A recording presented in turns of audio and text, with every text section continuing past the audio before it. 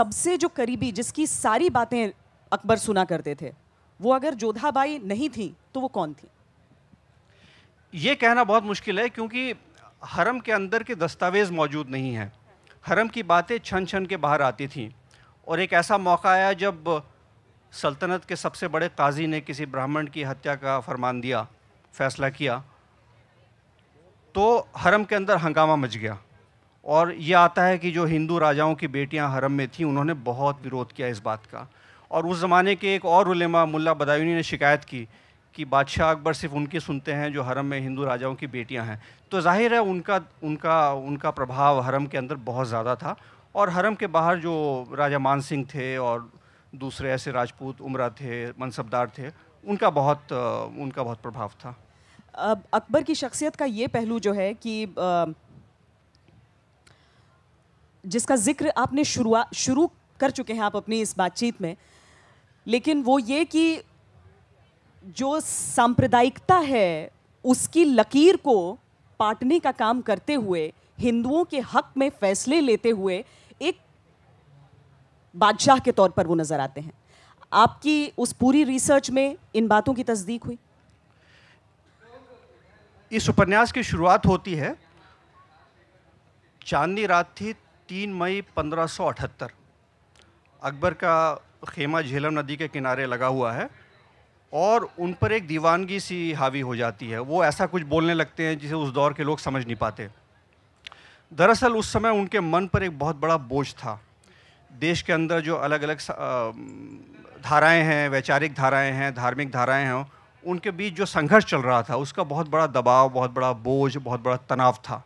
उसी वजह से उन उन पर वो दीवानगी सवार होती है और वो ऐसी बातें करते हैं जिससे बाकी लोग समझ नहीं पाते। जिस रिसर्च का ज़िक्र आप कर रहे हैं जिस जिस अध्ययन की बात आप कर रहे हैं जैसे हरम के दस्तावेज़ नहीं थे यानी दस्तावेज़ों पर आधारित है आप में आपकी बहुत सारी बातें जो इस किताब में हम पढ़ पाएँगे वो रिसर्च हम पूछ सकते हैं आपसे? जी बिल्कुल। आ, सबसे बड़ी बात तो अबुल फजल जिन्होंने अकबरनामा लिखा जो कि अनुवाद में छः खंडों में मौजूद है। वो एक तरह का आधिकारिक सरकारी दरबारी द्वारा लिखा हुआ इतिहास है। तो उसकी खूबी और ख़ामी यही है कि वो आधिकारिक है। उसमें तथ्य सब सही हैं। लेकिन एक दरबारी से जिस तारीफ़ की उम्मीद की जा सकती है, वो उस किताब में है। लेकिन उस किताब की एक और बहुत बड़ी अहमियत है। उसके ज़रिए हम ये जान सकते हैं कि अकबर की क्या इच्छा थी कि उनका युग और आने वाला युग अकबर को कैसे देखे। तो वो छवि निर्माण की बहुत बड़ी कोशिश थी, जिसमें अकबर एक महामानव के तौर पर उभर कर आता है। ये बहुत बड़ा स्रोत है। इसकी खामियाँ जो हैं, जो कि बहुत तारीफ़ है, इसको पूरा करते हैं एक साहब हैं मुल्ला अब्दुल कादिर बदायूनी, जो अकबर के घोर विरोधी हैं, कट्टरपंथी हैं, लेकिन उनकी हिम्मत नहीं थी कि वो खुलकर लिखें। वो एक खुफिया इतिहास लिख कर छोड़ गए।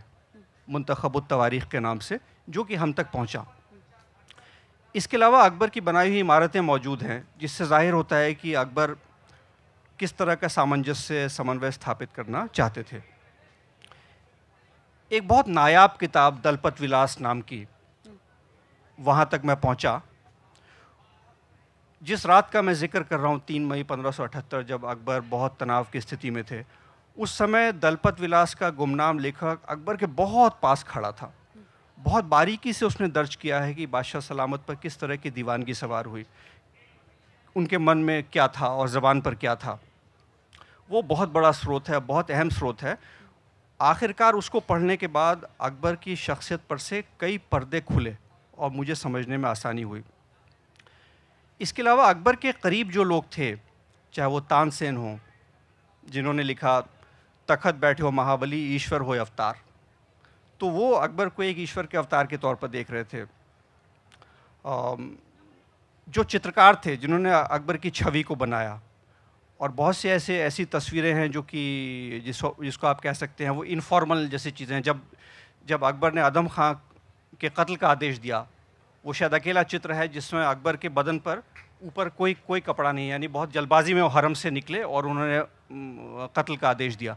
उस तरह की तस्वीरें हैं जिससे उस घटना को समझने में और अकबर की मनस्थिति को समझने में आसानी होती है।